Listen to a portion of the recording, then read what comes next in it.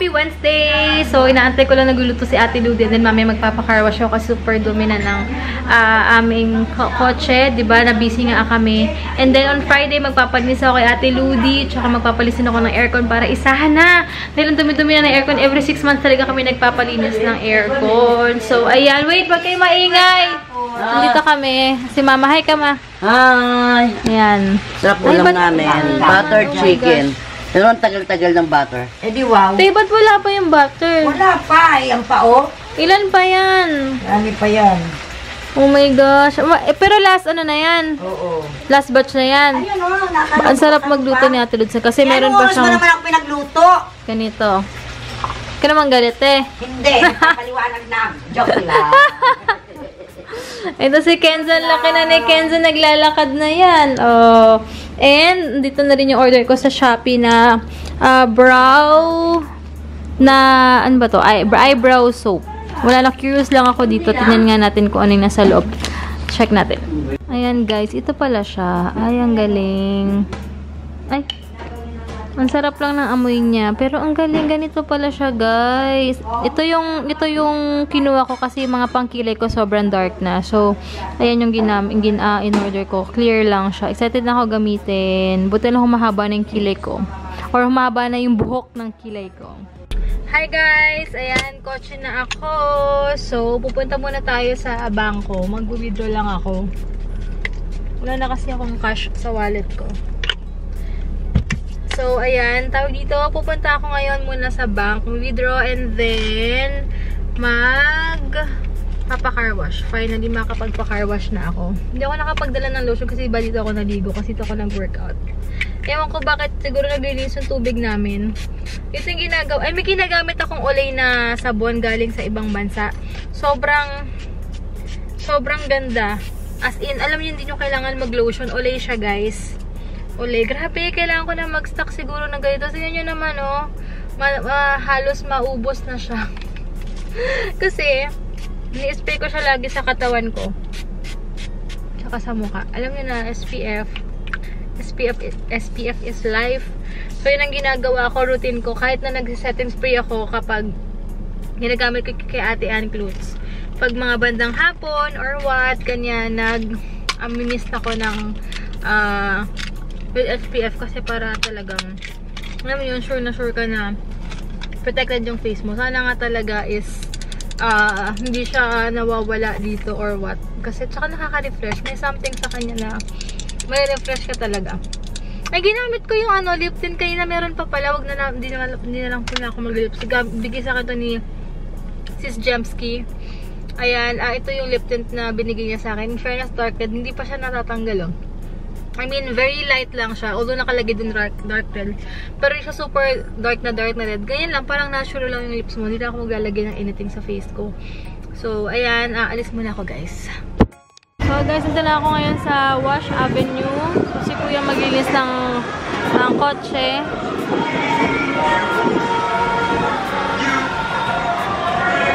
Guys, sa tapat ng car wash, may manicure pedicure. So, may may salon. So, magpapa-manicure pedicure muna tayo, guys. Yung kuko ko. Tingnan nyo. Hindi pala ako nakapag-vlog, guys. Nakapagpalinis na ako ng kuko. Ayan. Ah, color brown. Grabe, super linisan ng kotse namin. Thank God. Iba talaga si Kuya maglinis. Babalikan ko yung... Sige pa, babalikan namin kasi lalaban daw ni Kuya. Bukas na lang. Ay, salamat po. Ayan, ang linis. Iba talaga si Kuya Choi. The best. Ayan guys, may pahabol pa, oh. Diba? Grabe, nalaban pa niya yung mating namin. Kaya binigyan ko si Kuya ng malaki-laking tip today. Kasi grabe effort niya talaga. Okay. Okay.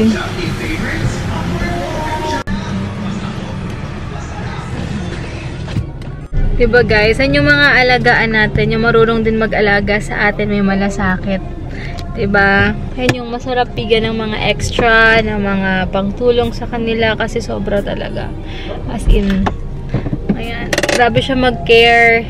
Siya talaga yung pinapa-request ko kapag magpapa car wash ako. But anyway, medyo nahihirapan lang ako sa roller nito. Pero ang ganda ng color niya. Ma'am, ma'am, she...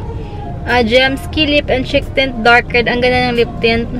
Ngayon ulit ako kapag lip tint. Actually, favorite ko na talaga to guys. Gusto ko na siya. Wait lang guys ha. Ang ganda kasi may ako explain sa inyo. Bumili ako ng ano, ng su sa suki ko ng pansit dito. Ayun. But anyway, nagustuhan ko siya. Kaya lang nahirapan ako sa roll niya. Sa roller ba tawag dito. Pero gustuhan ko siya pang everyday kasi very natural. Oh, na-miss ko mag lip tint. Grabe parang ngayon, alam niyo, iba-iba yung mood nyo. Gusto niyo yung parang medyo makapal, o kaya minsan parang na- medyo natural. Pero ito nagustuhan ko, ma'am si Jamski, sobrang thank you. Na-miss ko mag-lip tint talaga kasi usually, di ba, ang gamit ko is yung color tint. Pero ngayon, parang pang everyday ang ganda nito. Very natural lang. Try ko lang mamaya kakain ako. Sana hindi siya ganun ka, ano, kabilis. Yung talagang totally wala. Di ba? Sana may stain pa rin siya or what, di ba? Ayan, thank you ate! Wala na, eh. ubus na ubus na. Sige, Salamat okay lang na. po. Late din ako eh. Salamat po. So, nito na ako sa bahay. Tulog daw si Hugo. Eh, ang ganda ng lip tint, guys. No? Very natural lang, no? Oh, in fairness, no? Ito siya, guys. Napakita ko. Nasaan ba yan? Saan ba? Dito yung isa kay mama kanina. Ay, yung sa bag ko na lang. Ay, nasa kotse yata. May na lang. May na lang ako mag ano. Tulog daw si Hugo, guys. Pakita ko sa inyo ang mayang lip tint. Say hi. Say hi. Hi! How are you, guys? How are you guys? What are you doing? Tell them what are you doing. Tell them what you're doing. Go. I have nice teeth. You have nice teeth? Mm. Where's your teeth? Wow, I broke my teeth. Yeah, Wawa broke your teeth. I'll say good night now. Good, good morning. Not good morning. We will sleep in a while. No, no, no, hey, hey, morning. What? Good morning. Not good. Say good evening. No, say good morning. Why good morning? Why? Huh? Why? Oh! Naglalaro siya na yun. Ako kung nilalaro niya na yan, guys. Tawag, galak tawag namin dyan, Galaxy. Mom, Right. this, hey, Hmm. Mom, Daddy, please say buy me uh, a What? mining toy. Why, thanks for buying. This vampire day. No! No. There's no vampire there. Daddy was just joking. That, Right, Dad? that are you joking? Oh, say, say bye-bye na, guys. Goodbye, guys. Ha? What? Hey, hey, you guys. Go! Go, ah! Say goodbye, guys. Ha? Good morning. What? Good morning, guys. ah, Say good. God bless. Say God bless. good morning. Hi guys! Ayan, hindi na ako nakapag-vlog masyado kanina kasi may mga inaasikaso kasi ako may mga basta. Friends na ako, tsaka ko na lang sa inyo share. So, tomorrow, tomorrow is Thursday, alam niya Thursday, hindi ko alam kung isasama ko si Yugo or ako na lang siguro bukas para mabilis ko masundurin si Daddy and depende, depende kung sasama ko si Yugo kasi on Saturday and Sunday, meron kaming ah, bonding nga kasama namin for sure si Yugo noon. So, baka siguro pahinga na lang muna din siya ah, tomorrow. Bahala na. Kasi sa Sunday, kasi di ba, mimit nga yung tito niya. Tapos, ah, sa Saturday, sa Saturday baka mag, eh, nga kami.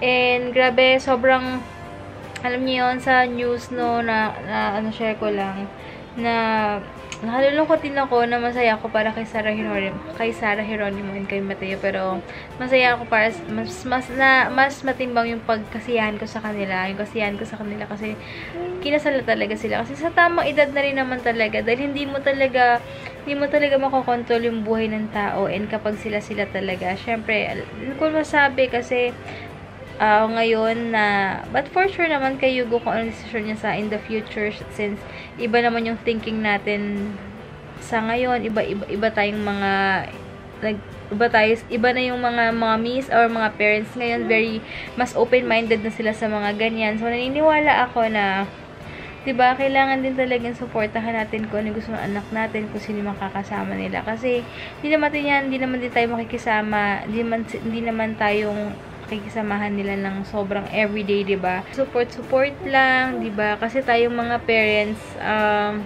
andyan lang tayo to guide them pero nasa kanila pa rin asa kanila pa rin yung huling desisyon nila and sila pa rin magde-decide. Yun yung sa akin eh.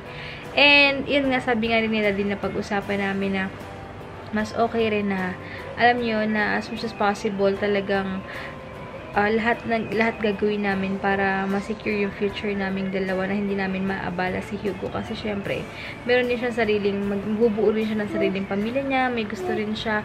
Pero gusto rin namin sa kanya patutunan niya na hindi lahat feeling niya kahit kaya niyong ibigay is ibigay-bigay-bigay lang lagi, 'di ba? Syempre may mga ano rin limit din. Alam naman natin 'yan bilang magulang kung ano yung ano kung ano yung dapat para sa anak natin, kung ano yung makakabuti sa kanya. Hindi porket gusto niya bili-bili-bili tayo, 'di ba?